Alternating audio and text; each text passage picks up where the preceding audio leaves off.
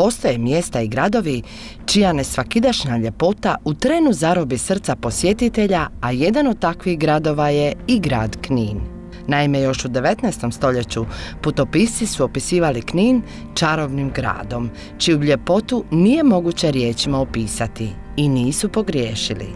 Jer kako drugačije doživjeti grad koji je okružen s devet visokih i moćnih planina, prekrasnim jezerima koja su zbog svojih čudesnih boja nazvana šarenima. Grad kroz koji potječe sedam bistrih i bogatih rijeka, među kojima je jedna od najljepših rijeka u Europi, rijeka Krka.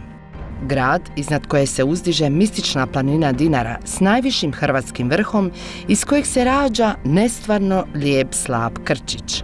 Ne samo da je slab prekrasan, već je to jedinstveno mjesto na svijetu, izvor Krke, utok rijeke Krčić, a na njej se sliva slab Krčić.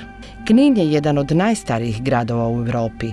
Status grada imao je još u starom vijeku. Prvo spominjanje Knina kao grada dogodilo se sedme godine prije Krista u čuvenoj Strabonovoj geografiji i Knin je tada jedan od samo četiri delmatska grada. Do danas od tih gradova preživjeli su samo Knin i Solin. Konačnu slobodu grad je dočekao 5. kolovoza 1995. godine kada je njegovim oslobađanjem okrunjena veličanstvena vojno-redarstvena operacija Hrvatske vojske Oluja.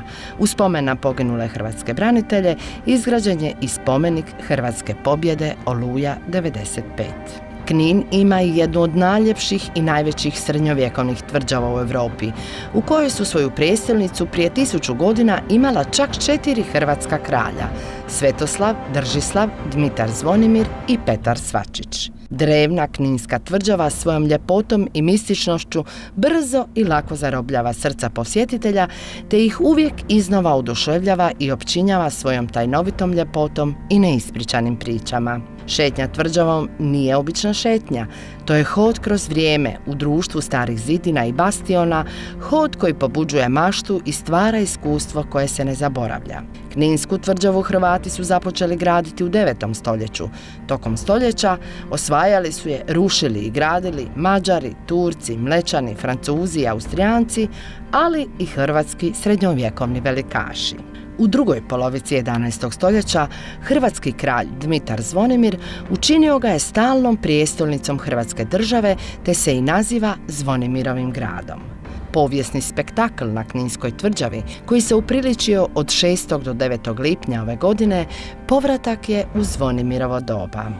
Tvrđava je uronila u svoj prirodni vremenski ambijent, vratila se u srednji vijek i očarala stotine posjetitelja povijesnim spektaklom. Tvrđavom je ponovno vladao dobri hrvatski kralj Dmitar Zvonimir, kraljica Jelena Lipa, hrabri vitezovi, streličari, srednjovjekovni svirači i plesači, kuhari, svećenstvo i brojni dvorjani. Tvrđava je preživjela veliku noćnu opsadu i najezdu neprijatelja, a za sam kraj solisti Hrvatskog narodnog kazališta iz Zagreba izveli su operu Nikola Šubić-Drinski. Ako ste propustili ovu prekrasnu manifestaciju, ne brinite se. Naše kamere sve su zabilježile, stoga ostanite s nama. Ovo su Zvonimirovi dani.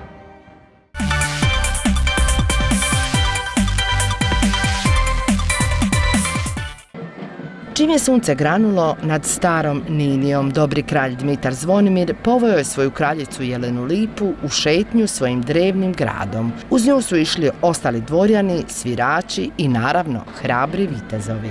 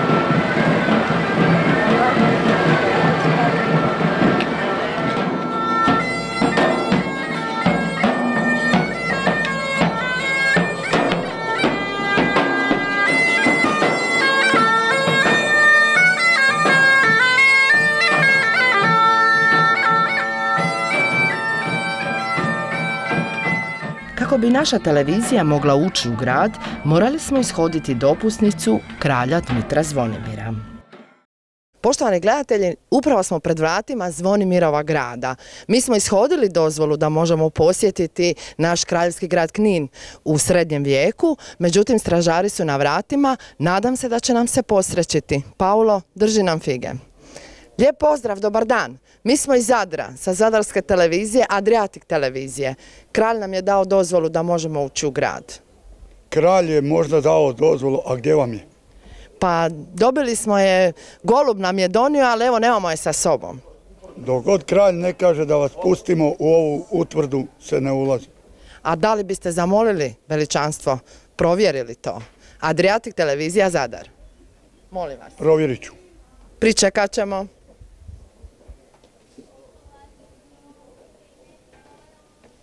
Nadam se da će biti u redu. Kralju, naš kralju! Evo. Šta je strašno? Zadarska televizija kažu da ste ih pozvali ovdje, da ih propustimo kralju. Zadarska. Da. Vaše veličanstvo, Adriatic televizija iz Zadra. Nadam se da se sjećate, dozvolili ste nam ulazak u vaš grad. Svake godine veličate ove naš, naše dane Zvonimirove. Drago nam da ste opet i da pokažete puku cijelom kako kralj Zvonimir je velikodušan sa svojim podanicima, svojim vitezovima i ima svoj zadovoljan hrvatski narod. Hvala kralju. Klanjamo se. Izvolite, dobro. Paulo, ušli smo.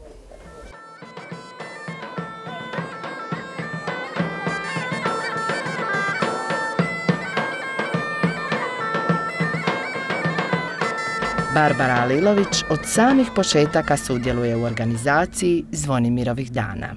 želimo biti nekakva prevaga e, u zbivanjima u našem gradu, ne zato da bi se moglo reći da smo to bili mi, već zato da bi se to moglo i dogoditi, da bi nekim i drugim ljudima donijelo priliku, ako već nisu, da se zaljube u naš grad i neke nove ideje potaknuti. Povijest je tu. Naša povijest Hrvatska je toliko bogata da možda je i to jedan od razloga zašto je toliko malo poznajemo. E, Često je kao i narod vidjeli smo sami sebi ne vjerujemo, e, ne vjerujemo da imamo snagu za koje kakve e, stvari i koje kakve promjene i skloni smo omalovažavanju sami sebe.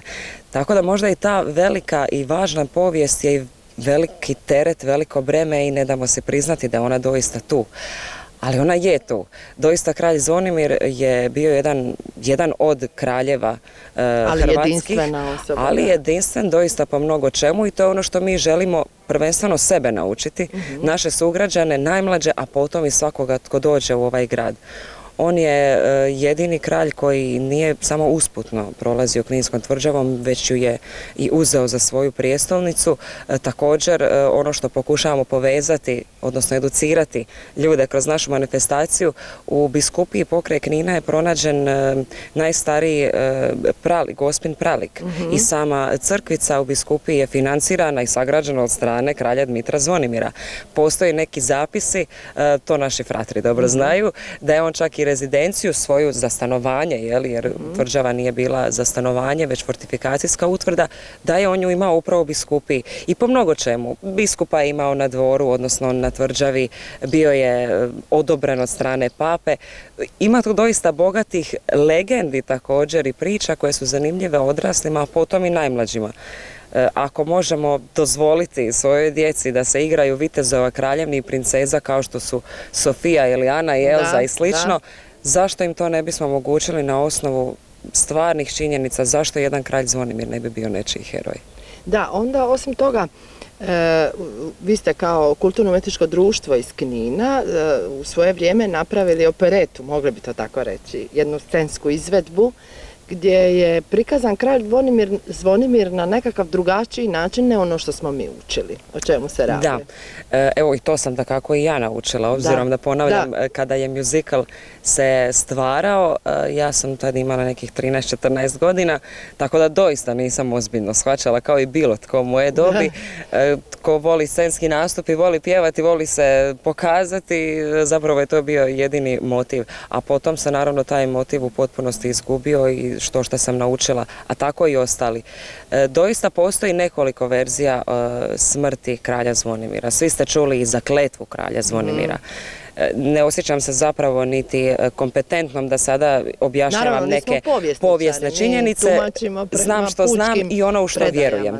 I naša je, naše vjerovanje, ajmo tako reći, mhm. odnosno priklonjeni smo toj strani povjesničara, da on e, je zapravo umro prirodnom smrću tako smo i to prikazali u tome mjuziklu, to moram reći, svi smo u to povjerovali, zahvaljujući e, Anti Nadomiru Tadiću Šutri, e, našem prijatelju i pjesniku i e, pa možda najboljem, ne glumcu, već najboljem živom kralju Zvonimiru koji postoji danas u istinu. On je napisao scenarij na nagovor Nade Hržić, e, entuzijastice koja se eto zaljubila u cijelu tu priču oko kralja Zvonimira i činjenicu da je to ovdje doista bilo živo, a nitko od nas zato ne zna. Ona je nagovorila njega i gospodina Davora Jašaka koji je uglazbio cijeli muzikal. Tako da doista je to bio pravi muzikal.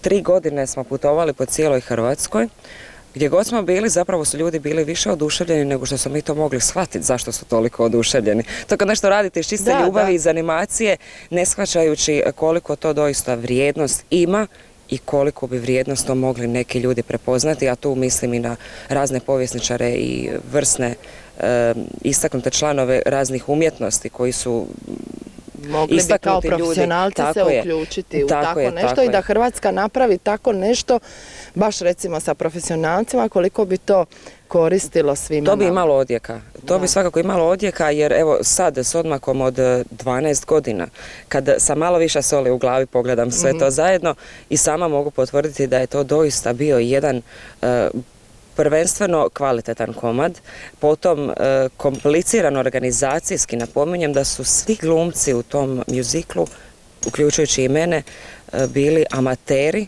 volonteri, ljudi koji su zaposleni na svojim stalnim radnim mjestima koji imaju svoj stvarni život. Išli su u školu, svoje živote. Tako je, imali smo stvarni život i imali smo život u musical Kralj Zvonimir. Tu ima imaginaciju koja je bila... to je u stvari još veća je ljubav, napor i, i žrtvovanje bilo potrebno, onda vam zapravo to, je, to govori sve o tome koliko smo vjerovali u taj projekt i koliko su nas uspjeli, evo, šačica entuzijasta držat mhm. na okupu kao što je Nada, kao što je gospodin Šutra e, i još evo nekoliko okupljenih oko njih koji tada i gradska vlast i svi su se bili Svi su to prepoznali, ali isključivo, isključivo zbog toga što, mislim, Nadu će evo i mhm. vaši gledatelji upoznat.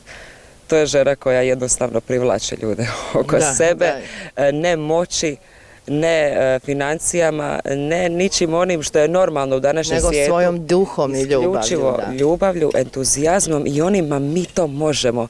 I stvarno nas sve i koji malo sumnjamo uvjeruju to ako nešto ti se čini dobrim i moglo bi biti na korist svima jer mhm. mi financijske koriste nemamo niti je želimo imati, kompromitiralo bi svu ovu ljubav do sada.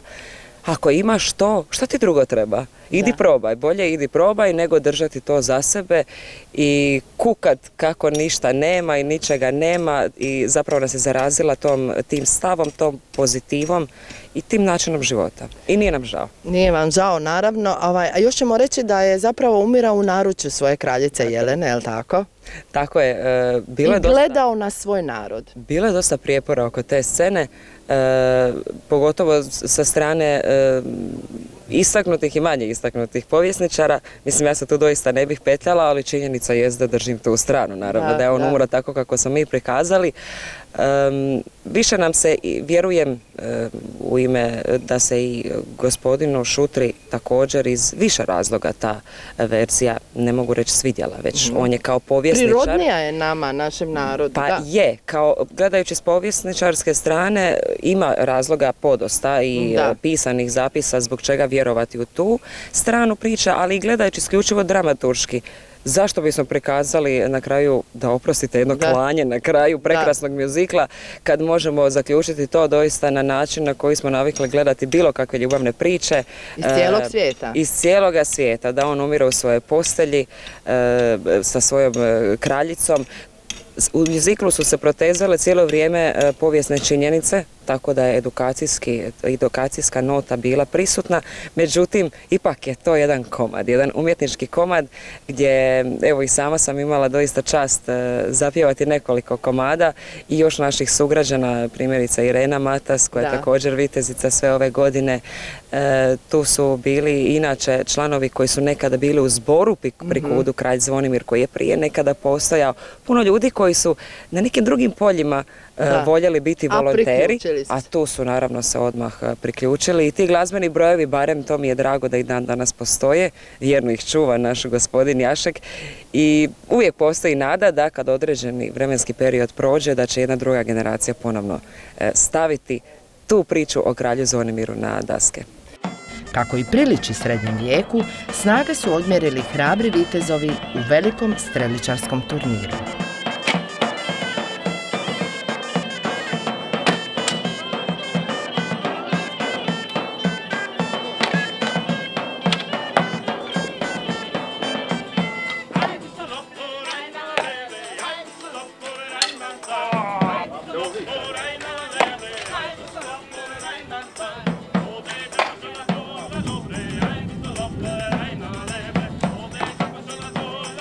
Naša sljedeća gošća, kninska je slikarica, spisateljica, dizajnerica i pokretačica mnogih kulturnih manifestacija u Kninu. I naravno, idejna je začetnica Zvonimirovih dana. Dragi gledatelji, sad smo na srednjem gradu, malo iza nas, poslije ćemo vidjeti, to je Zvonimirov dio, a ja sam u društvu jedne gospođe koju poznajem punih 12 godina. Upoznale smo se baš na prvim Zvonimirovim danima, kad sam ja zalutala ovdje kao novinar Novog radija i posjetila, svi su bili u čudu, svi su me primili kao šok što je sad ova došla iz Zadra. A Nada Hržica, naša gošća, je jedan od idejnih začetnika i zapravo netko koji je ovu ideju pronio, gurao, mučio se i došli smo Nado danas do toga da je ovo zaista jedna velebna manifestacija. Što po broju sudionika, što po broju novinara koji prate, građana, pučana koji dođu iz cijele Hrvatske to pogledati. Sam u pravu? Je, tako je. Prva je Zvonimirove dane, a bilo je otprilike oko sto posjetitelja. Da. A prekrasna likovna kolonija, sjećam se prekrasnih slika, da. Je, e, bilo oko sto posjetitelja i dvije viteške skupine. Sad, e, zadnjih godina imamo između 15 i 20 e, viteških skupina iz svih krajeva Hrvatske, Bosne i Hercegovine, Mađarske, Njemačke, dakle od svugdje. oko 150 izvođača u prosjeku. Mhm. sad Zvonimirovi dani traju tri dana Imamo i male zvonimirove dane, oni počinju u četvrtak, petak i subota su naravno velike zvonimirovi dani. I sada nas posjećuje nekoliko tisuća posjetitelja. Evo, Fra Mario mi je rekao kako e, i dijete da se rodi i majka moraju proći porođane muke i to su boli, ali nakon toga bude sve lijepo. Tako i ovo, vi ste stvarno prošla puno toga dok se sve uskladilo, dok je došlo na... Dok su ljudi vas uopće razumjeli. Što vi hoćete s tim Zvonimirom u 21. stoljeću? E, u stvari, ako ćemo tako gledati, turisti i vole srednji vijek i sve što se e, vrti oko srednjeg vijeka i to im je zanimljivo. Evo, mi sad imamo i naš tabor. Uh Ovo. I zadnje mi budemo cijelo lito tu. Mhm. Svaki dan e, tijekom lita smo ovdje u ovom taboru, očekujemo turiste. To govorimo jer je nastala i udruga, je li tako? E, ne, udruga je postojala i prije. Mhm. E, međutim, mi smo se prije godinu i po dana odvojili smo kompletan srednji vijek mhm. od prijašnje udruge. Pa tu imamo i male vitezove kralja Zvonimira, velike vitezove, plesne skupine Ninije, male, velike, pa kazalište Pinokio, pa likovne radionice, uglavnom svašta nešto imamo. Danas ipak e, trebaš biti ponosna kad vidiš što je ovo i kako je ovo uresilo i onako lijep, preljep, gizdav, prekrasan knin. Je, ponosna sam ja, ali to ništa ja ne bi mogla sama. Tako je, možemo znači, pohvaliti sve. E, imamo tu i e, ne samo članove udruge, nego volontere koji nam dolazi iz drugih krajeva Hrvatske, koji su ujedno i izvođači i ujedno i volonteri sva četiri dana. Da, upoznat ćemo neke od njih. I možeš li nam ti odati tajnu zašto ti živiš u Kninu, odakle si ti došla u Knin, jer po govoru čujemo da ti nisi baš Kninjanka. A došla sam iz Supetra sa Braća i kad sam vidjela ovu tvrđavu, onda sam i ostala. Ostala u Kninu. Tako je. Paolo meni stalno govori, dragi gledatelj, da ću i ja sigurno ostati u Kninu koliko tu po ovo kamenje nas je sve očaralo. Nemojte još otići, sad ćemo razgovarati s nekim koji je došao iz drugog dijela Hrvatske. Hvala Nado. Hvala vama. U srednjem vijeku jako se puno plesalo i zabavljalo. Glazbom i plesom se zabavljao dvor i uveličavalo sve važnije prijeme i bankete kao i susrete. Thank you.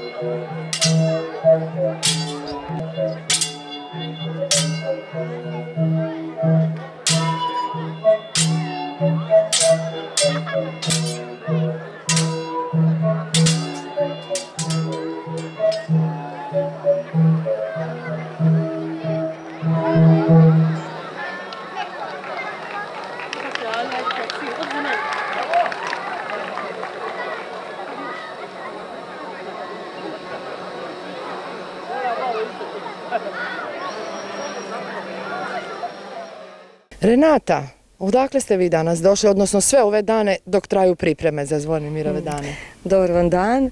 Pa evo dakle sam došla. Došla sam iz drugog dijela svijeta, sa sjevera i točnije iz Zagorja, iz mjesta Konjšćina.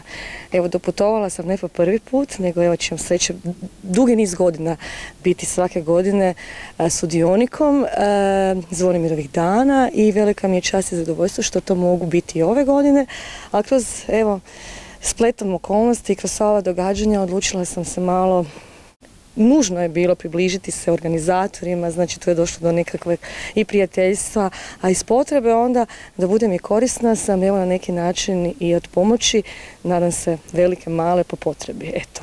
Evo ja, ja ne znam, ovo je tako jedan vruć dan, ne samo po emocijama, jer možda smo zato svi još i ono ispunjeni sa svim tim što vidimo. Prekrasna haljina na vama, dakle to je haljina iz srednjeg vijeka, onda kad nama kažu kako je u tom srednjem vijeku sve bilo crno, mračno, tmurno, zaista nije tako. A pa čujte, bilo je staleža, onih nižih, viših, pa evo sad moja haljina, znači po potrebi danas malo predstavlja onaj malo viši stalež, tako da i u to doba su se ljudi znali zabavljati.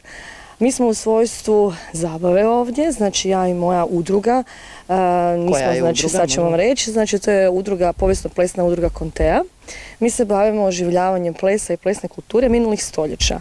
Naravno, prilagođavamo se podneblju, podne- po- e, do- prilagođavamo se i samoj manifestaciji, prostoru, znači i potrebi programa. Evo ove godine imamo ove malo bogatije, znači više, više staležne haljine i plesat ćemo plesove da zadovoljimo e, potrebe znači e, večere ili nekog drugog, nekog drugog e, Ajmo reći u to vrijeme, inventa. inventa, znači po potrebi dvora, kralja i eto, tako da ćemo mi danas e, otplesati ovdje nekoliko plesova. E, naravno, to nisu plesovi koje smo mi same izmislile, znači oni su replike po nekakvim zapisima, a to sve nas uvježbava naša koreografkinja i plesna pedagoginja gospođa Vlasta Ritih iz Zagreba koja se bavi time i tako evo to dosta uspješno radi ona s nama, već smo dugi niz godina na pozornici, evo nastupamo širom cijele Hrvatske, Slovenije, Bosne i Hercegovine, tako evo iz godine u godinu smo prepoznati ovdje u Kninu i tako da nam je zadovoljstvo uveseljavati vaše kralje Zvonimira i kraljicu Jelenu. Renata, možemo li za kraj reći, kako kaže ona pjesma, e, uzmimo sudbinu u svoje ruke i evo, mi lijepo odrastajmo u svoju povijest, jedino tako ćemo zapravo moći gledati u budućnost jer vidimo da je i ova povijest Kninu donijela razne učinke. Točno, točno. Ne možemo živjeti samo od povijesti, moramo gledati u budućnost jer u principu na mladima svijet ostaje, njih moramo odgajati, ali bez povijesnih i A bez činjenica kod ko smo, što smo, ipak smo, to su naši ko- korijeni koji nam uvijek daju krila.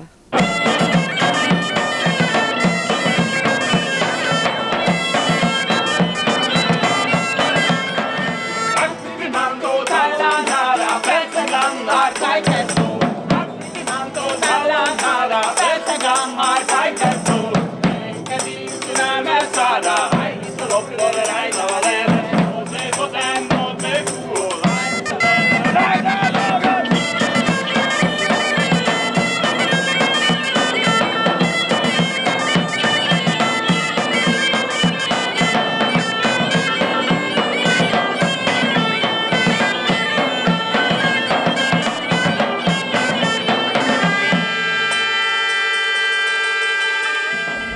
srednjem vijeku bilo je točno određeno koja je hrana prikladna za koju vrstu ljudi sukladno njihovom statusu.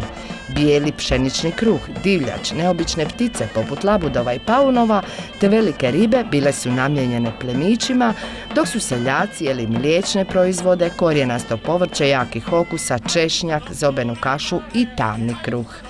Zasigurno je danas teško napraviti dobro srednjovjekovno jelo, ali na Zvonimirovim danima bilo je dragovoljaca koji su se okušali u tome. Kroz kulinarski show 3, 2, 1 ubi u kuhanju. Dragi gledatelji, sa mnom je u društvu predsjednica žirija, možemo to tako reći, ili prosudbene komisije, koja će ocjenjivati e, srednjovjekovno jela koja će naše ekipe koje smo vidjeli skuhati. Gospođa Biserka Šmit, došli ste iz Šibenika. Da, došla sam iz Šibenika, inače sam e, iz turističko-ugostiteljske škole, nastavnik kuharstva. Ovdje ste im postavili nekakve zamke, ovdje ima namjernica koja ne pripadaju srednjem vijeku. Oni, recite koji je njihov zadatak, a i što znače te zamke, jer smo primijetili da su neke neke namjernice koje nisu baš iz tog vremena. Pa evo, upravo smo im e, stavili namjernice koji ne pripadaju srednjemu vijeku, tako da eto, vidimo koliko su upućeni, koliko su istraživali, jer ipak su došli na jedno natjecanje, jedan show, pa smatram da su trebali proučiti razdoblje srednjega vijeka. Zbog toga smo stavili zamke, pa ćemo vidjeti. Ako budu koristili te namirnice, bodovi su manje, jeli? Da. A što se inače, kako ste e, ovako zamislili, što ćete im ocjenjivati? ukus, e, naziv jela, rekli ste mora biti baš srednjovjekovni? Da, mora biti naziv jela, eto ako poželo srednjovjekovni naziv jela, okus jela, pa nekakva inovativnost, dozvoljavamo da to jelo e, može se napraviti na jedan kreativan, inovativan način, tradicionalnost, dakle upravo korištenje e, začina i mirodija i namirnica iz srednjega vijeka i vizualno jelo, dakle kako je jelo složeno na tanjuru. Inače, kako vam se čini Knin? E, pa lijepo je, evo, nema dugo kad smo imali, radili smo kulinarski vremeplov s muzejom grada Šibenika, Kninskim muzejom, Drniškim i Što je to značilo baš? Vi ste spojili muzeje? Tako je, mi smo, evo gospodin Krčević, ravnatelj muzeja, spojio sva četiri muzeja naše županije. E, tema je bila prehrana, dakle bila edukativna radionica na temu prehrana. Upravo smo odabrali razdoblje srednjega vijeka, e, antike, e, prapovijesno doba i 18. stoljeće. Radili su učenici turističko-ugostiteljske škole. Tako da je stvarno bilo prelijepo i onda sam prvi puta prošetala po tvrđavi i oduševila me, dosta je predivna. Je. S obzirom da nas natjecatelji sada neće čuti, mhm. možete li nam ovako kazati našim gledateljima što se mhm. zapravo nije jelo u srednjem vijeku? E, pa evo ja ću nabrojiti da se nije, što smo mi ovdje stavili, da se nije koristila vegeta, da se nije koristila majoneza, da se nije koristio e, kečap, senf, evo to su tako neke male zamke, ali recimo se koristilo, začinsko bilje su koristili, korijandere, dosta su mesa, jeli osobito divljači, e, dosta začina i mirodija se e, također koristilo. A što je sa rajčicama? Ne, više crvena paprika, rajčica ne. Rajčica nije ni bila. Ne, nije bila. Kada probate e, ovo što će skuhati mhm. ovdje ekipa, ekipa koja pobjedi, imat će zapravo zaista jedno pravo srednjovjekovno jelo koje će možda i na tvrđavi postati hit za naše turiste ili neka turistička ponuda. Pa evo, to bi upravo i bio jedan cilj kao i svakoga projekta ili natjecanja koje radite. Uvijek je lijepo da neko to prepozna i da preuzme. Kralj Zvonimir bio je veliki vjernik. Svome puku uvijek je poticao vjeru i domoljublje. Priču zna Fra Mario Lemo. Fra Mario Faljan Isus i Marija, na ovom blagoslavljenom mjestu ovdje, posebnom za sve nas koji osjećamo i volimo i svoju vjeru i svoju crkvu i svoju domovinu na koncu konca, na prekrasnoj manifestaciji, ipak se možemo dotaknuti jednog detalja, a stojimo ispred pralika gospe i Zašto je baš evo, ovaj pralik povezan sa Zvonimirovim danima? Pa evo, dobro ste rekli, nalazimo se na jednom predivnom, blagoslovljenom mjestu, crkvica Svete Barbare, koja je u sklopu Kninske tvrđave, a znamo da Kninska tvrđava kreće od 9. stoljeća i tako, i koliko je važna kroz cijelu hrvatsku nacionalnu povijest. I vjerujemo da je na ovome mjestu i svim tadašnjim braniteljima i ljudima koji su živjeli vojnim posadama, jeli, a znamo da se kralj sklanja u tvrđavu kad je opasnost prijetla dok su živjeli u polju u Biskupiji gdje su ostaci tog dvorskog kompleksa. Vjerujemo da je baš ovo mjesto gdje smo mi, evo, mjesto u kojem su oni snažili svoju vjeru za dane koji su sigurno kroz hrvatsku povijest bili teški. Evo, spominjemo se Zvonimirovih dana, jedne kulturne, turističke manifestacije u kojoj spajamo i duhovno. Ovdje pred nama je pralik gospe velikog hrvatskog hrsnog zavjeta koji je iskopan Fralujo Marun, naš pokojni, iskapao je u mjestu Biskupija kod Knina kompleks gdje je pronađena jedna katedrala Svete Marije i ovo je bio zabat unutra koji pokazuje gospin pralik. Ta katedrala kasnijim iskapanjima je utvrđeno služila kao dvorska kapela kralja Zvonimira. Okolo imamo stambeni kompleks, dakle dvor. I ovo je najstariji lik Blažene djevice Marije u Hrvatskoj. Jasno, ono što je izvorno, to čuvamo u muzeju arheoloških spomenika u Splitu, a ovo je odljev koji je vezan uz ono veliko slavlje kada smo slavili 13 stoljeća kršćanstva u Hrvata, tako da je evo ovaj pralik od 1988. koji boravi u novoj velikoj gospinoj crkvi koja je nasljednica svih kninskih katedrala i velikih bazilikalnih kompleksa kojih ovdje imamo na pet, šest lokacija diljem Knina i Kninskoga polja i donijeli smo je ovdje sinoć u procesi nakon svete mise. Mi se kao župna zajednica nalazimo u devetnici Svetom Anti koji je zaštitnik ovoga grada. Ovdje smo izmolili krunicu kod gospe i izmolili smo zavjetnu molitvu, molitvu koju je sastavio sada blagopokojni kardinal Franjo Kuharić 76. na velikom slavlju u Solinu i on ga je molio pred gospom i mi nastavljamo obnavljati svake godine tradiciju naše posvete osobne i narodne, naših obitelji, našeg cijelog grada, župne zajednice Blaženoj djevici Mariji da nas čuva.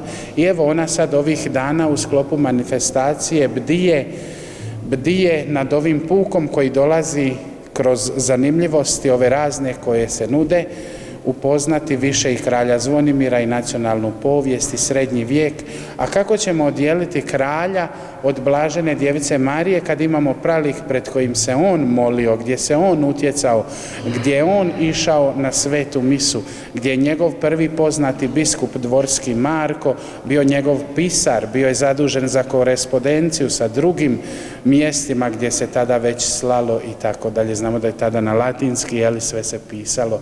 Tako da ne možemo opet bez gospe jer je ona isto jedan od stupova ako govorimo o nacionalnoj povijesti u Hrvata. Budući da mi i učimo o svojoj povijesti, što je strašno da zapravo ne znamo puno stvari, pa i jako malo i o kralju Zvonimiru, uglavnom u nekim negativnim konotacijama ili nekim poluistinama, ipak za grad Knin i ova manifestacija donosi razne učinke, a onda tako i vašim župljanima pomaže da možda i taj život bude još bolji i kvalitetniji, a i da nahrani dušu u tim susretima, u zagrljajima, u ljudima, u prijateljstvima? Pa mi smo ovdje, fratri, evo u gradu prisutni sa manjim prekidima za vrijeme turske okupacije oko šest stotina godina. I ono što je naše načelo svih naših pastoralnih radova u ovom gradu, to je istina će vas osloboditi.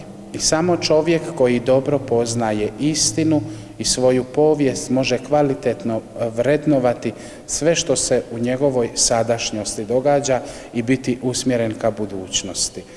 Istina je da postoji i u ovome gradu trenutno možda mnogo stvari koje znaju nas sputavati. Ali baš zato su Zvonimirovi dani dobrodošli da odgajamo mlade, jer mi smo sada grad koji je ipak, ljudi su iz raznih krajeva Hrvatske i Bosne i Hercegovine. Ja kažem, mi sad ovdje stvaramo tradiciju, to mi je svaki dan prisutno u župi, stvaranje tradicije, da. I, I najbolje je kada se stvori tradicija koja je stvorena na istini ona opstaje. Svaka druga postaje na neki način terorizam ako nije na tome utemeljena.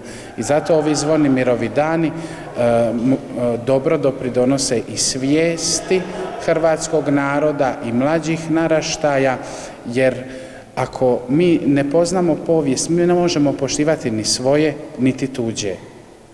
Evo tako da u tome smislu doista su blagoslovljeni svakako. Najveću pažnju posjetitelja privukla je noćna borba, točnije otmica Lijepe kraljevine.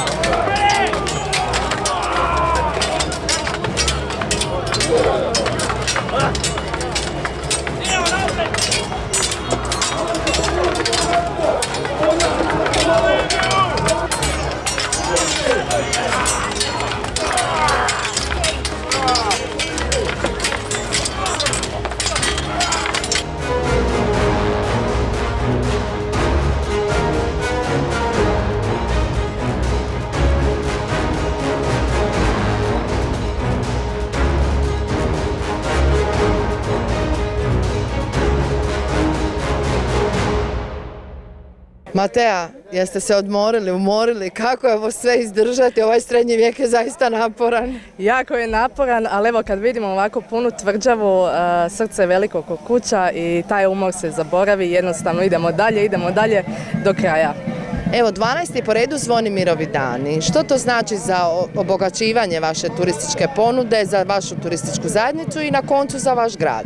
Pa to je definitivno evo jedna od naših najvećih manifestacija, dakle možemo reći da je to jedna kulturna, kulturno povijesna manifestacija, ujedno je e, druga po veličini, dakle odnosno po posjećenosti u gradu Kninu i svakako je edukativnog karaktera i e, prilika da se ova prekrasna tvrđava koja je evo druga po veličini u Europi se svakako iskoristi i pokaže se posjetiteljima i medijima i svakako jedan način privlačenja turista u i ono što nam je drago, dakle osim uh, viteških skupina izlagača iz Hrvatske, tu su nam dakle i prijatelji iz Bosne i Hercegovine, iz Mađarske, što ujedno postajemo dakle međunarodna manifestacija i to nam je zbilja uh, velika stvar za Knin i ja vjerujem da će se iz godine u godinu rasti kako broj skupina, kako broj uh, država i slično i svakako i turista. Trudimo se kako marketinški prikazati, u biti ono što mi realno imamo, što, koji su potencijali, ali isto tako i trudimo se iskoristiti te potencijale, infrastrukturu